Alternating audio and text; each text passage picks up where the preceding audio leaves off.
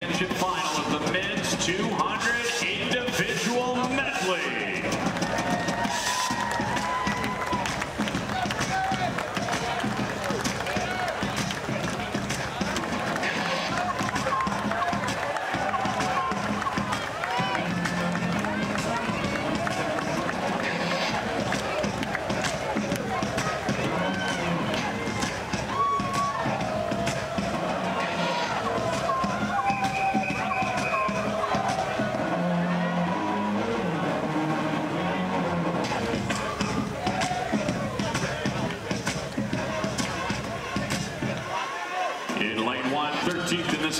from University of Michigan swim team, Tommy Coe.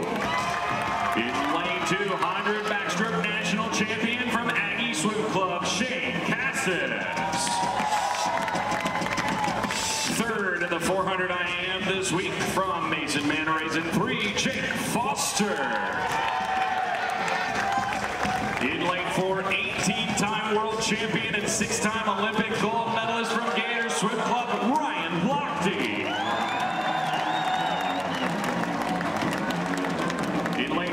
seventh in this event last year from New York Athletic Club, John Shebat.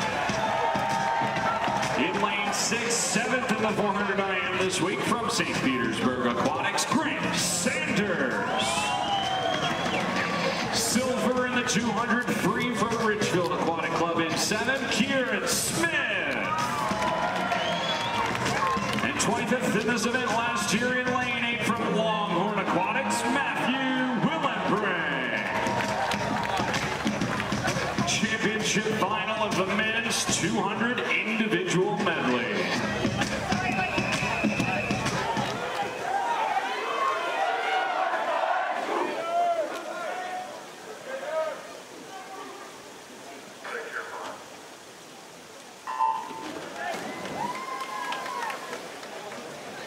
Lochte with that 158.77 in the prelims, one of two people to break two minutes so far this week.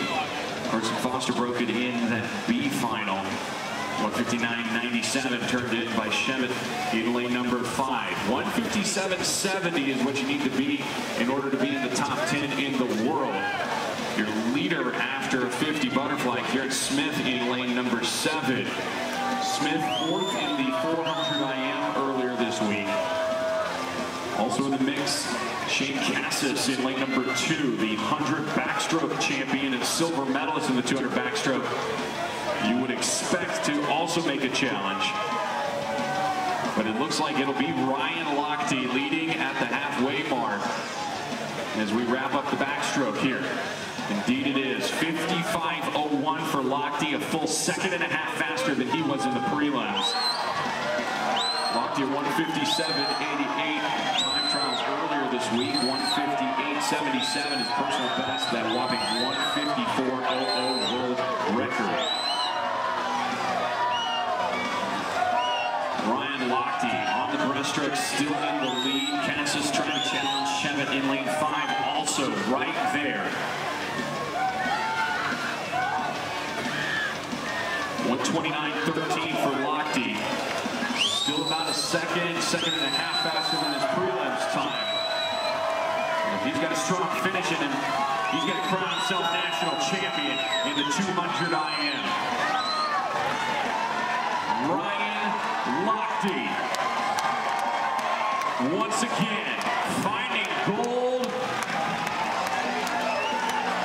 And in the 200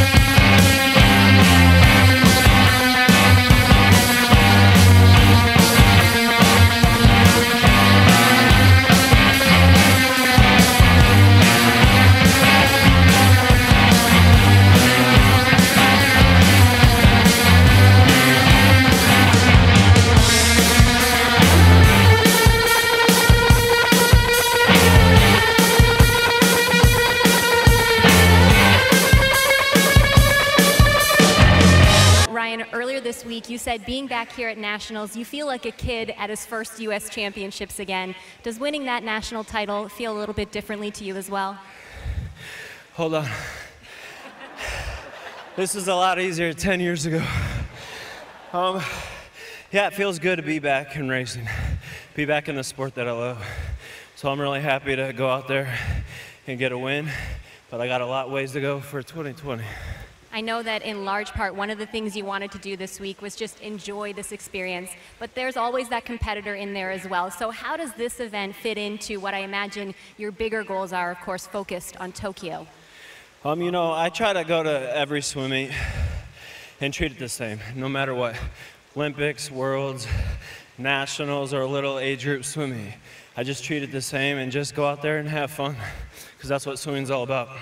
Now, of course, you're in a very different place in your life. You have a big support team, including your family. Is it different getting in that pool, knowing that you're swimming not just for yourself, but for them as well? I think it's even better for me. Uh, I mean, I have a family. It's the best thing in the world. I have such a beautiful son, beautiful daughter, and a beautiful wife. I can't ask for much more. All right, Ryan, congratulations on everything. Good luck. Thank you.